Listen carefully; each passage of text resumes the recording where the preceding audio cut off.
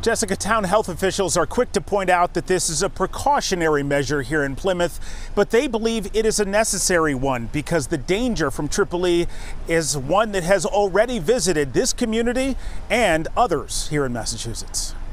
We had an animal test positive in Plymouth, the only animal in the Commonwealth of Massachusetts. So I think that that puts us a little bit more in the spotlight for a high risk status with Department of Public Health. The high risk of Triple E in Plymouth is leading public health officials to begin aerial spraying tonight. This precautionary measure has been used in years past. We just want people to be vigilant. Right? Triple E is rare, it's a rare virus, but it is serious and it definitely can cause some serious complications. Plymouth is one of eight towns in the county of Plymouth that will have aerial spraying. Southern Worcester County, where a man was exposed to eastern equine encephalitis a week and a half ago, truck mounted sprayers will drive through five towns.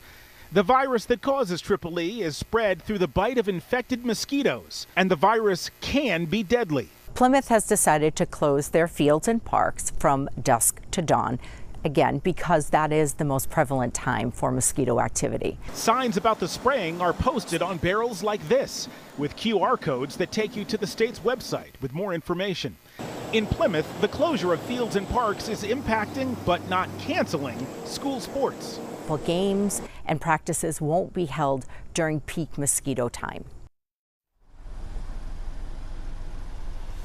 The spraying with an EPA registered product will take place between dusk and dawn. And if you'd like to take another look at that spray map, as well as find some mosquito safety tips, you can find all of that on our website, WCVB.com. Reporting live in Plymouth, Todd Kazakiewich, WCVB News Center 5.